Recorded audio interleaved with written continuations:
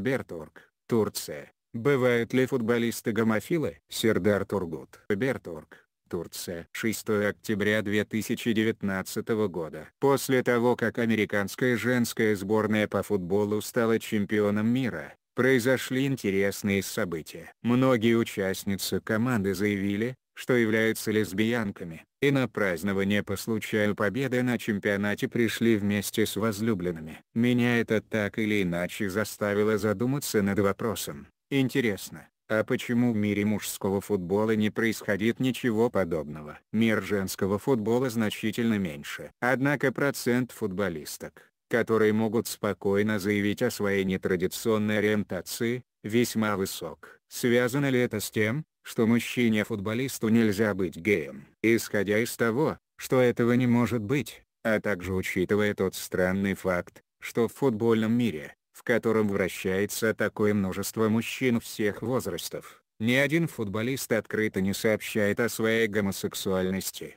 напрашивается единственный вывод. В мире мужского футбола игроки скрывают свою истинную сексуальную ориентацию. Почему женщины так спокойно публично объявляют об этом, а мужчины продолжают скрываться? Это вопрос, который заслуживает рассмотрения прежде всего с точки зрения свобод. Ответ на самом деле прост. Но, несмотря на это, нужно понимать, что такого ответа уже не должно быть в наше время. Когда речь идет о женщине-футболистке, культура, в которой доминируют мужчины, может создавать шаблон ей идет быть лесбиянкой. Но, если речь о мужчине-футболисте, тогда мы считаем, что ему подобает быть грубым, мужественным, слегка агрессивным, и не ожидаем от него нетрадиционной ориентации. Все просто и примитивно, но из-за этого подхода тысячи мужчин-игроков, вероятно, начинают вести тайную жизнь, и отсутствие возможности открыто сказать о том,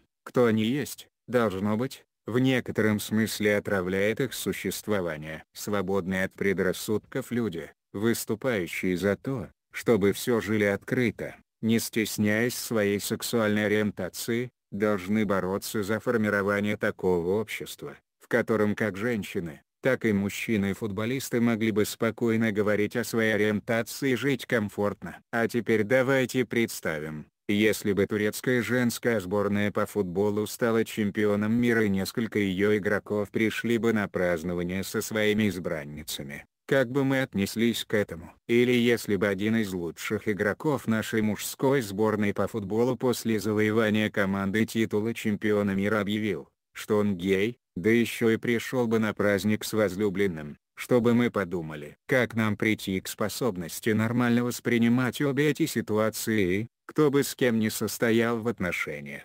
сказать, мне то что. Вот о чем нам нужно думать. Материалы на СМИ содержат оценки исключительно зарубежных СМИ и не отражают позицию редакции на СМИ.